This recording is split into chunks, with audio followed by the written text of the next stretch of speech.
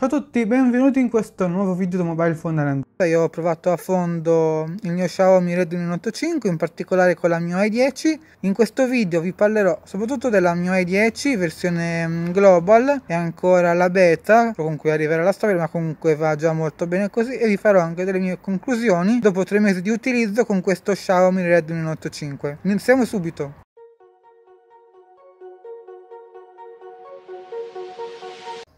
È migliorata con, con, il tempo, ho fatto molti aggiornamenti, ne esce uno ogni pochi giorni, siccome è la dev, poi ci sono le versioni pubbliche e quelle private. Private si possono installare soltanto tramite Custom Recovery, quindi dovete sbloccare il bootloader.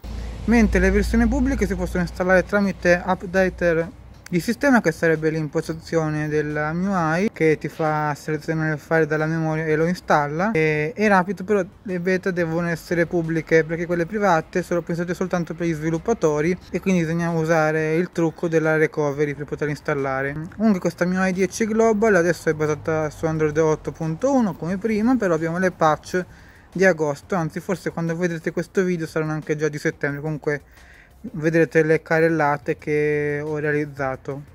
Se usate la TVRP potrete anche mettere Magisk per avere il permesso di root e anche la possibilità di abilitare i settaggi per la Google Camera che è praticamente un file zip da flashare o da installare tramite Magisk che abilita le API della Google Camera quindi possono funzionare tranquillamente anche con la MIUI.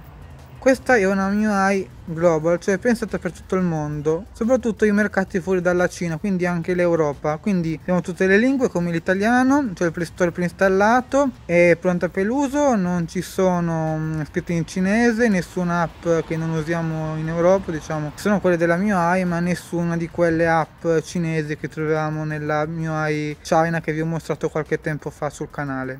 Nella fotocamera poi non troviamo nemmeno le impostazioni eh, dell'intelligenza artificiale che mh, mm, compaiono invece sulla versione cinese, comunque vedremo se arriveranno anche nella global.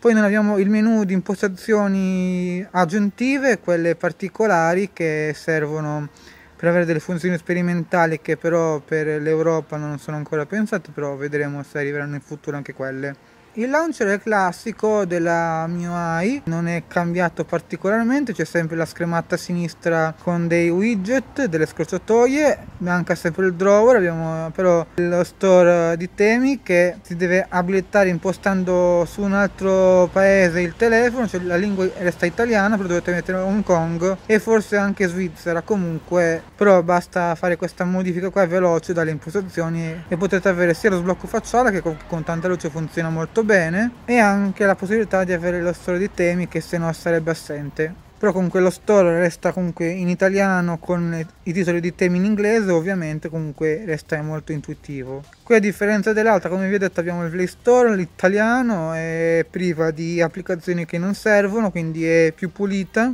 Però comunque le novità rimangono come per esempio il nuovo slider del volume che è fatto molto bene. Abbiamo poi anche i nuovi toggle rapidi con la, anche le notifiche con l'effetto mm, sfocato blur che è molto bello. Abbiamo poi il nuovo menu del multitasking. Come vedete adesso ha schede in eh, verticale comunque è fatto bene.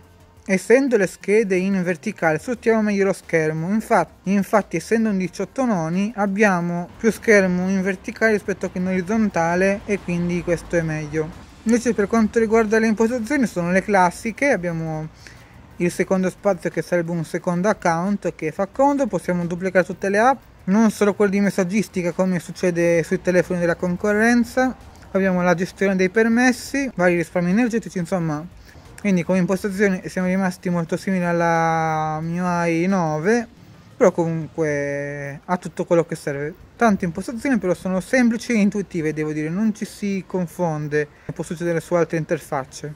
Per quanto riguarda le prestazioni sono rimaste davvero molto buone, l'apertura delle app impiega poco tempo e poi girano molto fluide, l'apertura delle app, il passaggio tra un'applicazione e l'altra, il multitasking insomma va molto bene, gaming fluido, comunque abbiamo i dettagli al massimo ma comunque eh, va più che bene, comunque la GPU di questo Snapdragon 636 se la cava molto bene. E anche la batteria in questo senso comunque è in linea con la mia i9 quindi con il mio uso molto intenso magari arrivo a mezzanotte all'una magari con un 20% a qualche volta anche di più oppure con un uso un po' più leggero ma comunque non basico comunque usando comunque il telefono parecchio magari arrivo a un giorno e mezzo con una sola carica che sono risultati davvero molto buoni. Adesso vi parlo un po' invece delle mie sensazioni con questo Redmi Note 5 dopo tre mesi di utilizzo. Quindi confermo un po' quello che vi avevo detto, insomma comunque un bel display è grande, comunque è buono, sì, fascia media però comunque, però comunque interessante. Prestazioni molto buone, la fotocamera comunque è in linea per la fascia di prezzo, per 200 euro comunque se la cava bene, ci sarà anche l'intelligenza artificiale anche se adesso non fa granché, comunque è già integrata, però comunque verrà comunque migliorata col tempo. Batteria ottima, come vi ho detto, anche un giorno e mezzo di utilizzo con uso non troppo intenso. Prestazioni molto buone. Nell'uso quotidiano non si nota una particolare differenza con un top di gamma, magari nei giochi o nell'apertura delle app quando sono chiuse, magari non è rapido come un 845 o 835 però comunque devo dire che è più che soddisfacente sia per i giochi che nell'utilizzo giornaliero insomma. Quindi in conclusione ve lo consiglio sia la mia i10 se l'avete già comprato o se no comunque comprarlo comunque è un ottimo acquisto. Ormai costa anche un po' meno di 200 euro su Amazon. Poi dalla Cina comunque si risparmia anche qualcosa in più. Comunque devo dire che è molto buono ha molto modding io l'ho preso per questo come vi ho detto perché ho già l'S8 comunque che eh, se no non l'avrei comunque preso però non avendo più il G4 funzionante ho bisogno di un telefono per modding per il canale ma comunque lo uso anche nel telefono principale quando capita. Vi ringrazio della visione trovate il link per scaricare eh, la mia i10 dal sito ufficiale la versione global quella pensata per il nostro paese di cui vi ho parlato in questo video e anche un link per l'acquisto se volete ancora comprarlo insomma per me. Per questo video è tutto iscrivetevi al canale canale, lasciate un bel like e noi ci vediamo alla prossima, sempre qua su Mobile Phone Ciao!